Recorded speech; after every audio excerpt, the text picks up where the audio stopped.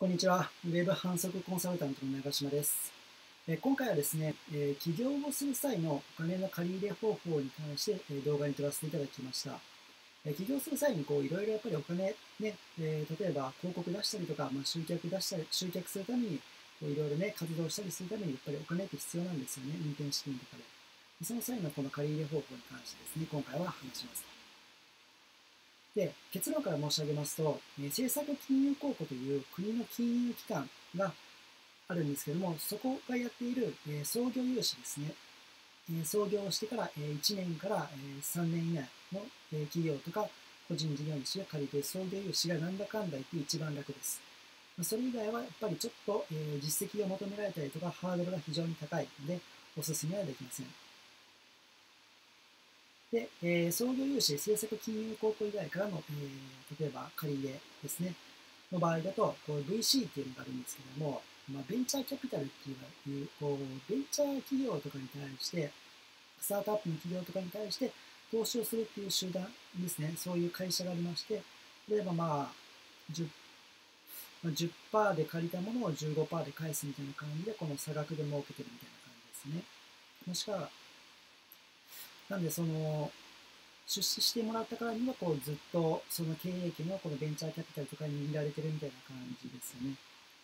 であとはその、なんでまああんまりこう、よほどに多額の資金調達以外は、ベンチャーキャピタルっていうところからお金を借りるっていうメリットっていうのはあまりないかなっていうふうに思います。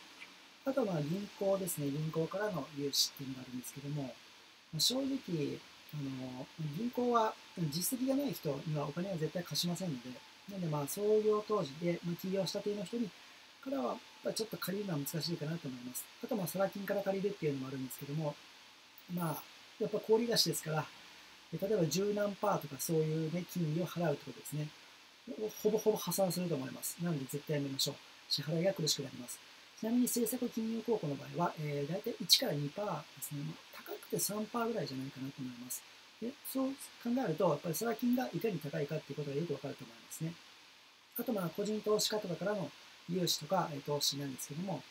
これもまあ、正直いい方に出会えばいいんですけども、それなりに、えー、今までの実績とかもかなり厳しく見られるので、そのようなお勧めはできませんと。あと、このベンチャーキャピタルですね、VC は、えー、事業の斬新さとか、今までにないものとか、イノベーションを起こせるとか、そういうふうな、割とこの斬新さが求められるので、割とこのありがちな事業とかで起業するっていう場合、ちょっとまあ VC とかから、えー、長期資金調達するのは難しいかなというふうに思います。で、次ですが、なぜこの創業融資っていうね、進めてるかっていうのは、さっきサラ金と比較したんですけども、やっぱ金利が1%から3%ぐらい非常に安いってことですね。ここにちょっと書いてないんですけども、あとこの保証人ですね。創業融資は原則保証人がいりません。であとまあ、そのクレジットカードとかでえ金融事故を起こしたりとか、あとは携帯電話とか、そういうのですね、その支払いが何回も遅れたりとか、まあ、水道払ってないとか、え、そういうのがない限り、こう、クレカブラックとか、え、クレジットカードとかのこの、え、そうですね、履歴に何か事故がない限り、え、全然いけますということですね。あと、その国としても、どんどんどんどんこの起業したいっていう人をこう応援するっていう風な国の方針になってて、できる限り国としてはお金を貸したいというふうなスタンスになっているらしいです。でというのも、やっぱりどんどんどんどんこの起業する人っていう減ってる、実際減ってまして、でも、そのまあ、国としても、まあ、この前ですかね、まあ、2019年の9月ですけども、まあ、5月か6月ぐらいに、そのトヨタ自動車のトヨタ、秋夫社長が、これから終身雇用自体はもう保証しませんからっていうふうなこう大企業のトップの社長が話しているわけですね。ということは、その、もう、この個々の国民は副業するなり、自分で事業するなりして、なんとか自助努力で頑張ってくださいということですね。そういうふうな社会の流れになっているにもかかわらず、全然起業する人がいると。でこう日本日本国民は割とのうのうとして生きててっていう感じですね。その国のこのどんどんどんどん起業する人増えてほしいという方針があるから、どんどんどんどんこう創業融資っていうのはこう積極的に行われているということですね。なので、割とこの審査自体が、えーまあ、他の、えー、例えば、まあ、銀行とかに比べたらやっぱり緩いですね。実績もそこまで見られないですし、むしろこの4番目の、えー、実績よりも、えー、事業計画の精密度度合いですね。どれぐらいそのまともな、ちゃんと資金繰りを考えてっていう、この絵を描けているのかどうかっていうことが非常に見られるなというふうに思います。あとはその自己資金っていうものの有無ですね。要するにこれ今まで、えー、これぐらいなんか事業やりたいんだったら、コツコツコツコツ今まで自己資金とかを貯金してきたかどうかっていうのをこう通帳とかも全部見せろって言われて、それで見られます。ね、でちなみにこの自己資金っていうのは、例えば自分に例えばない場合とかでも、えー、他人から借りてそれを自己資金にする場合も、まあ、稀にできる、いわゆる見せ金っぽいものできる場合もあるらしいんですけども、あまりお勧めはしません。ちなみにその結婚してる方とかは、この配偶者ですね、例えば、まあ、奥さんがいたりした場合、奥さんの貯金とかもその自己資金としてこうカウントされるので、結婚している方が割とこの自己資金要件で有利だなというふうに私は思いました。じゃ次ですね。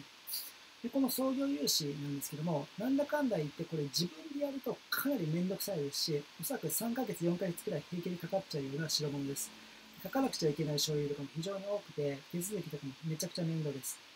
でも税理士をつけるのが一番楽です。というのも、やっぱりこの、まず1番目が、ある程度この書類作成とかですね、で、提出する書類とかを丸投げできるんですね。